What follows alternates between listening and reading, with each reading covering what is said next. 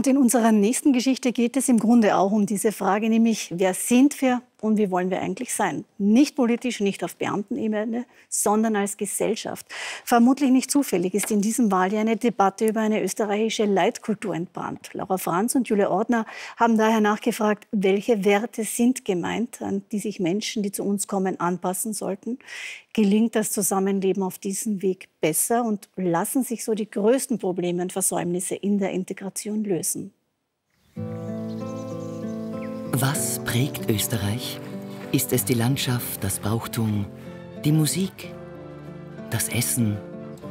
Jetzt im Wahljahr kehrt auch jenes polarisierende Thema wieder zurück, das die heimische Politik schon früher bewegt hat. Die Leitkultur. Nur, was ist die österreichische Leitkultur? Der Netzwerkforscher Harald Katzmeier definiert den schwer fassbaren Begriff grundlegend so. Die entscheidende Frage in der Leitkultur ist, wer sind wir? Wer wollen wir sein? Was sind unsere Ambitionen? Wohin wollen wir uns entwickeln? Wofür wollen wir uns Applaus geben? Diese Fragen müssen beantwortet sein, um äh, auch den Anspruch zu haben, eine Leitkultur zu sein, die andere anleiten soll, die ein Attraktor sein sollen, die attraktiv sein sollen für andere. Und man leitet, indem man äh, überzeugt und indem man inspiriert und indem man Vorbild ist für andere. Und äh, man wird nicht äh, überzeugen, indem man sagt, okay, wir, äh, wir wollen das jemandem aufzwingen, aufprägen. Dann ist man im Kampf, dann ist man im Kulturkampf. Soweit die Theorie. Wenn sich in der politischen Praxis etwa FPÖ-Chef Herbert Kickl auf die Leitkultur bezieht oder ÖVP-Kanzler Karl Nehammer sie zuletzt in seinem Österreich-Plan ausruft, geht es vor allem um das. Ein Regelwerk. Wenn wir ein Land der Vielfalt, des Respekts, der Wertschätzung und der Toleranz sein wollen, dann heißt es, dass es klare Spielregeln gibt. Und dann heißt es in meinem Verständnis, dass Integration Anpassung ist. Doch wozu braucht man in einem Rechtsstaat mit Verfassung eine Leitkultur? Wenn die Welt sich immer schneller wandelt, könnte eine vernünftige Leitkulturdebatte den Alteingesessenen und den Zugewanderten helfen, sagt der Soziologe Kenan Güngör ein Teil der Leitkulturdebatte würde ich auch für mich das Thema die Migration einbeziehen. Zu sagen, so, wie gehen wir denn in einer zunehmend diverser werdenden Gesellschaft miteinander um? Man kommt ja auch in ein Land, wo es auch eine gewachsene Tradition gibt von Kulturen, von Bräuchen und so weiter. Man muss nicht alles sozusagen sofort nachahmen, aber man kann im Respekt davon leben. Wie geht das? Was machen wir damit? Und deswegen glaube ich, wenn man sowas klug machen würde, sich immer wieder mal Rahmen zu schaffen, Diskurse zu schaffen, wie so ein Klärungsprozess aussehen kann. Hier im 15. Wiener Gemeindebezirk war Muamer Bezirovic bis 2019 Obmann der Jungen Volkspartei, ehe er aus der Partei austrat. 2020 hat er sich gemeinsam mit dem mittlerweile verstorbenen ÖVP-Politiker Erhard Busseck in dem Buch Heimat mit Fragen beschäftigt, die er heute anders sieht als seine Ex-Partei. Der Unterschied ist, und das versteht die Volkspartei bis heute nicht, aber generell das politische Spektrum bis heute nicht, die Sachen sind immer eine Sache des Fördern und Forderns. Wenn ich jetzt von Ihnen eine Anpassung fordere, dann hoffe ich, dass ich ähm, gefördert, dahin gefördert werde. Wenn ich aber jetzt im 15. und im 10. Bezirk, wo die Bildungsabschlüsse eher mau sind, nichts dafür tue, dass die besser werden und nichts dafür tue, dass diese Kinder eine faire Chance haben in ihrem Leben. Was denken Sie, wie hoch die Wahrscheinlichkeit ist, dass die sich anpassen werden? Man muss den Verstand und das Herz dieser Leute erobern. Das kann Österreich nicht, weil Österreich selbst nicht weiß, was es zusammenhält. Die Leitkultur, das fremde Wesen. Mitte der 1990er Jahre brachte der in Deutschland lebende und in Syrien geborene Politikwissenschaftler Bassam Tibi den Begriff einer europäischen Leitkultur auf, der zum Beispiel auch hier bei einem Auftritt im ORF diskutiert wurde. Dieses Problem, worüber wir hier reden, gibt es in den USA nicht. Ja? In Amerika gibt es eine politische Kultur, die den Menschen, die zuwandern, zu also äh, äh, Self-Belonging, also dass sie ein Mitglied der Community werden. Und in Europa sind Einstellungsveränderungen, also sie brauchen nicht nur äh, Zuwanderungspolitik, sie brauchen Einstellungsveränderungen. Und wenn sie das nicht tun, äh, dann führen sie mit den Menschen, die hier reinkommen, auch Probleme ein. Also das sind nicht die Menschen, sondern äh, die die Probleme bringen, sondern die fehlende Integration. Damals noch ein Thema für philosophische Diskussionsrunden. Heute ist die Leitkultur vor allem Teil der Tagespolitik.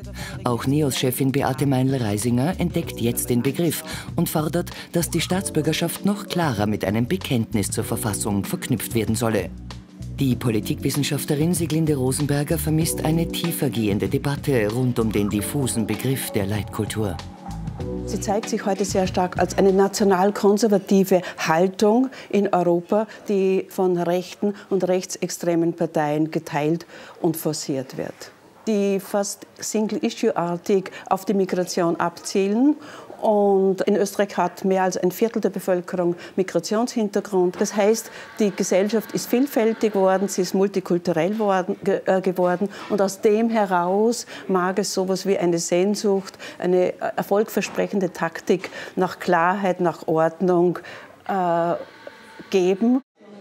Doch die Leitkulturdebatte alleine gebe nicht vor, wohin die Reise führt. Ist das eigentlich nur ein Wahlkampfschmäh? Ja, äh, das ist es definitiv. Ähm, äh, die, die, Migrationsgeschichte wird immer aus dem Hut gezaubert, entweder wenn man ein politisches Problem hat, das man sonst nicht lösen kann. Und deshalb sagt man, da, die Migration ist wieder das große Thema.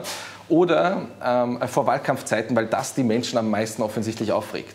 Das Problem ist aber, die Essenz des Problems in dieser ganzen Debatte ist, uns fehlen große Staatsfrauen und Staatsmänner, die Probleme bei der Zuwanderung wirklich lösen.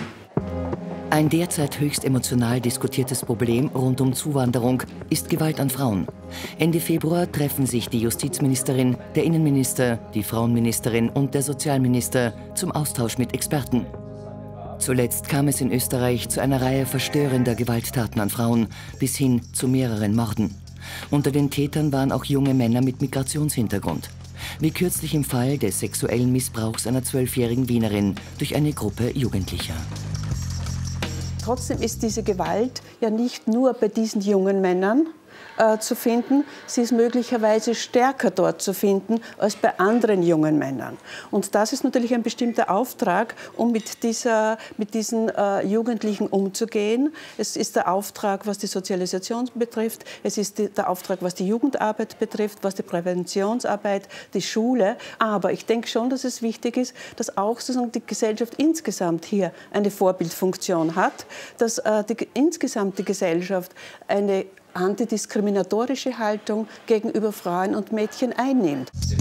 Der Großteil der zugewanderten Menschen würde im Einklang mit den gängigen Normen leben, sagt der Soziologe. Probleme mache eine kleine Gruppe von sehr autoritär, patriarchal und religiös geprägten Männern. Es gibt auch Leute, die dann sagen, diese Werte und Normen, die sind für mich viel zu locker, viel zu liberal. Wir brauchen viel mehr Härte, Strenge und so weiter. Diesen Teil gibt es dann auch, die auch ein anderes Frauenbild haben.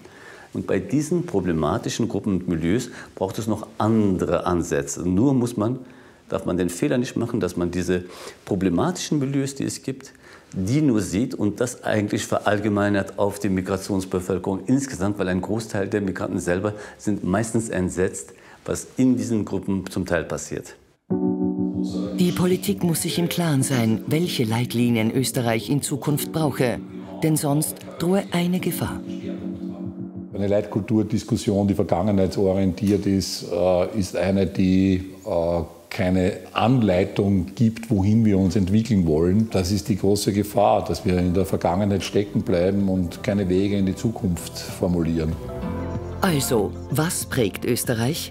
Integrationsministerin Susanne Raab ist vom Bundeskanzler jedenfalls mit der Ausarbeitung eines Konzepts der österreichischen Leitkultur beauftragt.